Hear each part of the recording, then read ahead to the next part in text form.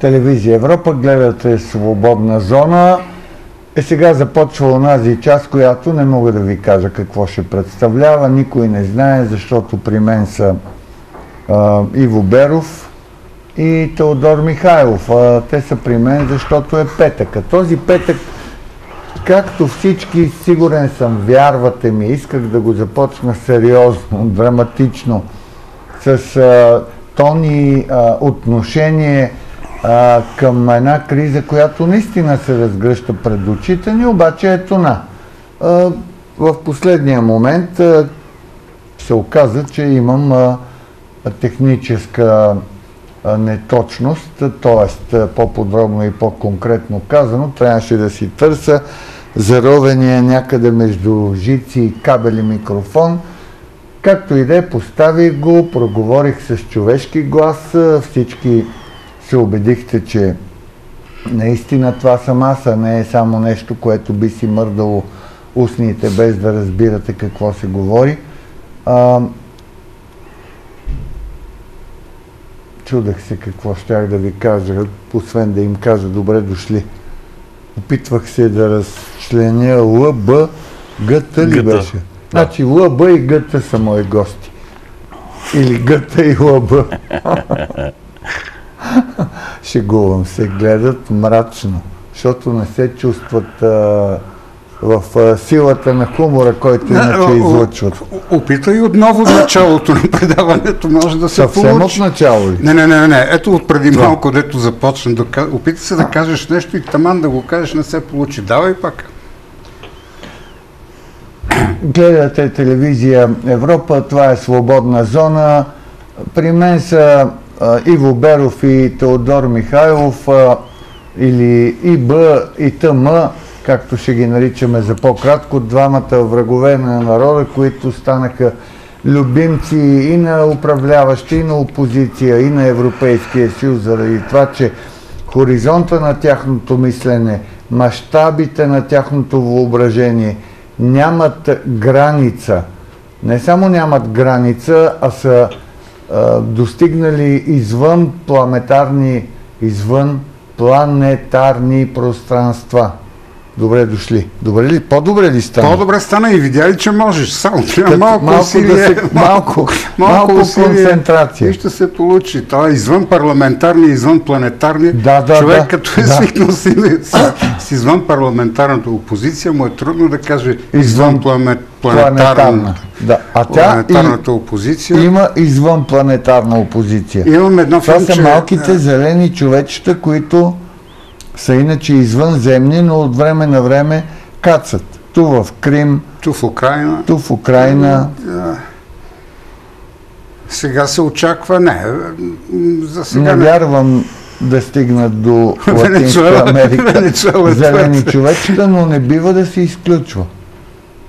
Имам едно филмче за извън парламентарни явления, за альтернативни светове, за альтернативни мнения, което е много съвременна и вълнуваща тема. Дори ми хрумна, ние като говорим едно твърдение, като изказваш едно твърдение, ние да изкажем альтернативно твърдение. Защото това е Ти малък... защо си без вратовръзка ме Защото, не, аз съм с альтернативен костюм. А... Ако, това, ако това е толкова важно за, за българския народ. Между другото, идвайки тук с колата, чух една чудесна фраза, много ми хареса. Тя е на уважаемия господин Марешки, който каза... Ти си слушал радио в колата. Да. И, си го чул Марешки по радиото. Да, и той каза Какво забележителна фраза, която много ми хареса. Още с събуждането си, казва той, рискувайки здравето и живота си, аз се боря за успеха на българския народ. Ето това е, ето, това е истинско събуждане. Не, не като тук нашето и като вашето, дето почваш една фраза, и трябва още с а, събуждането си замисли, с риск на живота и здравето си замислиш за успеха на телевизията и на зрителите. Като си има предвид колко часа спи човек в денонощието, от думите на Марешки може да се направи а, правдоподобния извод, че докато спи, той не мисли за българския народ. Той знае какво сънува. някакви кошмари сънува и като се събуди, хоп, дай да мислим за българския народ, стряскайки си и рискувайки живота си. Е, ня, някой би рекал, това да беше продължил да си спи, ама няма. Да, тук навлизаме в политическо злободневие, което не е препоръчително в този ранен петъчен след обед. Хайде да видим филмчето. Насочи се към а, филма и след това ще ни го обясниш, защото, да, да, защото ние той едва си, ли ще да. го разберем. Не, не, той, той има нуждото обяснение, прав си. Добре. Вече цели хилядолетия разни учени, като ето той, дето се плези, може ли това да бъде учен, моля ви се, ни разказват различни неща за живота, за смъртта, за земята, за Вселената и за всичко останало. Ние обаче имаме право да потърсим альтернатива на техните празни приказки и да попитаме, няма ли друга, по-различна и по-истинска действителност от тази, която те ни описват и кой в края на краищата има изгода от всичко това. Кви Боно, както са казвали древните прабългари, които между другото са имали собствена азбука и доказателство за това са прабългарските надписи, които и до сега се срещат в различни части на света и дори в Вселената. Ето, например, един надпис. Тук, ето тук, а ето и тук. Кому е било изгодно да отрича прабългарската писменост и прабългарщината? Естествено, на враговете на българския народ. Нека си спестим политическата коректност и да ги изброим. Това са печенези, ромеи, татари, византийци, гърци, турци, румънци, сърби, французи, германци, американци, араби, отчасти руснаци, а също соросоиди и либерали, да не забравяме и македонците, които искат да ни откраднат историята и цар Самуил. Изброените са само малка част от враговете на българщината и тяхната цел, както се знае, е да обезлюдят родопите и да ги заселят с бежанци, евреи и джендари. Колкото и да се опитват обаче да затрият родното ни самосъзнание, те не могат да отрекат обстоятелството, че българите са се заселили на Балканския полуостров много преди хората и че древна Атлантида се е намирала в Тутраканската селищна система. Българският народ е успял да запази своеобразията си, защото в продължение на векове свято е пазил древните си обичаи, като къпането в ледени реки, Дунавското хоро, кукерите и православието, чрез които се е противопоставил и на проваления либерален модел, който доведе нещата до там, че стотици и дори милиони граждани на либерална Европа бягат в консервативните арабски и африкански държави. Допълнение на тези альтернативни виждания можем да добавим и това, че Земята въобще не е кубовидна, както мнозина си въобразяват. Тя има издължено ряповидна форма. И не се върти, а само се кламбичка нагоре-надолу, а понякога и напред-назад, клатена от слънчевия вятър. Доказателство за това земно кламбичкане са вулканите и земетресенията, както и смяната на деня с нощ и обратното. Напоследък бяха направени и много открития в альтернативната геометрия. Ето тук виждате един альтернативен кръг, тук един альтернативен квадрат, а в момента в много училища се въвежда квадратната нула. Има нещо, което учените наричат истинска наука – според тази наука на Луната е поставен отражател, който отразява изпратения към нея лазерен лъч и така редовно се измерва разстоянието Земя-Луна, което било доказателство, че на Луната са стъпвали хора.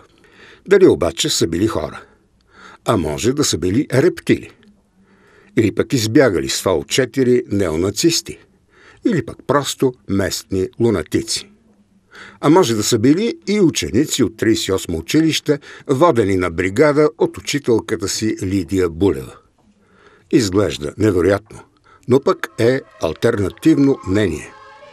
Нека има всякакви мнения. Нека разцъфтят хиляди цветя, както е казал Мао Цзедун.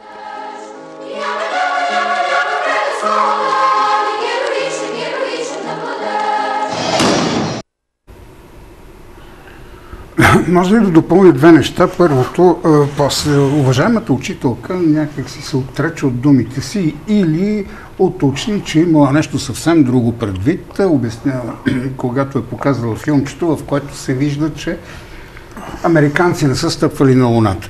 Наистина... Мал не е говорил за хиляди цветя. Да, в имаше за това е цветя. След, Нека да цъфтят хиляди цветя. Нищо подобно. На кръставича краставици ще продават. Ти Нека цъфтят 100 цветя да си съперничат 100 школи. Добре. Ей, и това е хла. 100 цветя. Значи не хиляди цветя, а 100 хиляди, цветя. 100. 10 пъти по-малко. Добре. А, когато са отишли на Луната, американците са поставили рефлектор.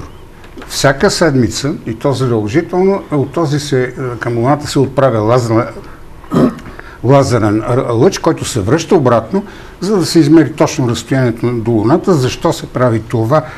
Не знам, но така или иначе всяка седмица има доказателство, че там наистина са стъпвали американците. Работата е там, че се създават и това става все по-модерно, особено в България, да се, да се представят альтернативни мнения и най-различни гледни точки, при които се получава следната странност. Примерно, има предаване за енергията. И в това предаване участва този учен, който се плези, той беше Айнштайн, и да кажем аз. Кочо, или ти, или Кочо от Каспича. И сега, Айнштайн казва, енергията е равна на масата по скоростта на светлината на квадрат. А Кочо от Каспичан казва, абе, мания тая енергия, тя ми срути доваро. И водещия казва, благодаря, уважаеми зрители, вие чухте различните гледни точки, вие сами ще си направите извода, всичко хубаво. Извода, който си правят зрителите е, абе, той е къдрави изплезен еврейн, говори разни глупости, а ето, Кочи от Каспичан, разбира от енергия и мисли за народа.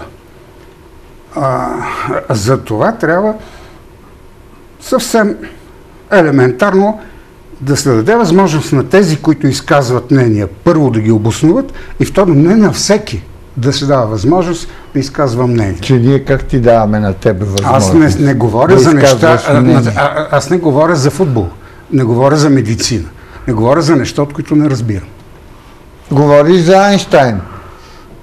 Да, защото това, което... Ти разбираш от а, теория на относителността.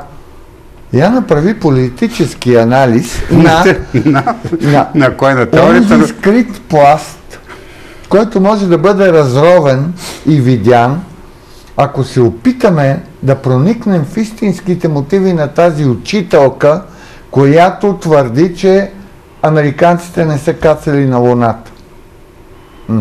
Сега, има две Според възможности. теб има ли възможност тази жена да е свързана с идеологията на Позитано 20 и да е била съученичка на Корнелия Нинова, откъдето през подобно вношение, че американците не са стъпвали на, на Луната, да иска да прокара идея за необходимост да бъдат свалени санкциите срещу Русия – и да изкара американците манипулатори, империалисти и фалшификатори, откъдето пък да направи внушение, че се опитват да правят преврат срещу Мадуро. Това... Ти тази... виж колко сложна мисъл? Не, да, мисълта ти не е а, чак толкова сложна, тя е любопитна и действително върви от една причинно-следствена връзка към друга, което значи, че има много прости причинно-следствени връзки, но не съм съгласен, че конспирацията е достигнала чак до там. Нещата се получават доста по-просто. Тази жена, доста... която твърди, че американците не са стъпвали на Луната, няма неща... ли отношение към Мадуро? а, има. То, всичко има отношение към всичко. Всичко е свързано. Но тук не става въпрос за конспирация и точно за тази причинно-следствена връзка става въпрос за един общ дух, който се натрап, натрапва от всякъде. Естествено, от социалистическата партия, от руската, руските патриоти, аз ги наричам руски патриоти, защото те са такива, от, примерно, споменати в началото на предаване Маришки, в който се говори, че санкциите срещу Русия са нещо съвсем пресилено, че Европа гледа как да ни прекара и, и че американците гледат как да ни излъжат. Въобще създава се една такава измислена альтернативна действителност. И в, а, както вие обичате да се изразявате в контекста на този общ дух, учителката е решила да се включи, да кажем, общ дух или общо течение или мейнстрим Мейнстрим между Марешки и Мадуро. А, а, а, нека Теди да каже, Теодор да каже нещо. Не, Теодор ще му предложим да води малко предаването, защото той а, все по-убедително изгражда ролята на онзи балансьор, онези везни, които ще претеглят дали Коче от село Мадурино или Айнштайн казва истината. Значи, ето, Ми, каквото реши мнозинството. А мнозинството обикновено решава, че Кочо казва изкоча. Българското мнозинство стои зад Коче от Мадурино. Така е, защото а, аз също съм на мнението, че човек не е стъпвал на Луната, защото аз не познавам никой, който е стъпвал на Луната. Вие познавате ли някой, който е стъпвал на Луната? Имате ли някакви познати, които са ходили на Луната? аз имах една... Аз имам познат, който е ходил на Луната. Как се казва? Ами, само че не от първия полет, а от втория забравих му името, идвал ми е на гости в а, пещерата, когато водех предаване. Аха. Да, беше така на години, той беше стъпвал на луната, разказа ми как се казваше, бе, Боже, той пък взе, че почина, иначе да му се обадим да го питаме, ама. Много хора, много хора Да. казват, че съм Наполеон. Са, стискал съм му ръката. Еми Хубавенска имахме такава прекрасна пиарка, тя го доведе. Еми добре, но ние сме тук двама на един. Двама човека не познаваме никой, който е стъпвал на Луната. Аз Вие- познавам една жена, която сваляше луната в леген. Това е, Е, стар, ето, старо български ето. традиции и обичай, Да. който трябва да уважаваме и да спазваме. И аз познавам. Така да жена. Аз ще се объркам сега, ако ме е излъгал, ако не е стъпвал, Мога да е стъпнал в легена на жената. а може да е стъпил в легена на жената. Че това е едно альтернативно действие. Ние сега се подиграваме с такива хора и с подобни мнения, но те обикалят медиите, което, което вече е странно. Защо Защото... обикалят? Защото наближават Сега, избори. а, не, те и преди изборите обикаляха поради една много проста причина. Смята се, че те са атрактивни. Защо прекъсна Теодор? Засмята- Тък му почна да говори. Защото и ми хрумна просто една мисъл и леле. ако не я бях казал, ще си отида и няма да мога да я кажа. Защото ето сега ти ме прекъсна и за, и за какво Ка- говорим. ли? Значи, не е избягал. Сашо, иди я потърси малко, бе. Сашо седи. Такива хора, такива хора, които свалят луната в, еген, в а, леген и, и такива като твой познат, които са били на луната и разказват спомените си, се смятат за атрактивни, т.е. привлекателни и рейтингови. И се получава един омагиосен кръг. Колкото повече каниш такива хора, толкова повече затъпяват зрителите, колкото повече затъпяват зрителите, толкова повече такива хора биват канени. Защото няма разлика между това една жена да обясни как е свалила, свалила луната в леген и една жена да обясни как е, Зодия Скорпион тази година ще има финансови проблеми. Разлика няма. Е, какво нещо е да си чел Маркс и да познаваш формулите на Маркс? И да ги преписваш, да плагиатстваш и да си приписваш гениалност. Какво е казал той? Пари, стока, прим. А, пари, стока, пари, прим. Нали така? Какво ще кажем ние днес? Тъпота, телевизия, тъпота, прим. Нали така? Така е. Това е омагиосен кръг. Той, е- той е Серко Висио, той е известен още от римско време, много преди Маркс и Ангелс. но- Тъпота, телевизия, тъпота, прим. Прекрасно. Да. Нашето предаване е доказателство за това. Всеки петък ние доказваме... Всеки петък доказваме тази Да. аксиома. Да. Ние се смеем, но има цели държави, които създават и е- една измислена действителност, вярват в нея и накрая се осъзнават едва, когато заорат с нос действителността. Аз гледам руска телевизия и знам там, е, и знам там каква действителност, в каква действителност хората живеят. Съвсем измислена и много страшна.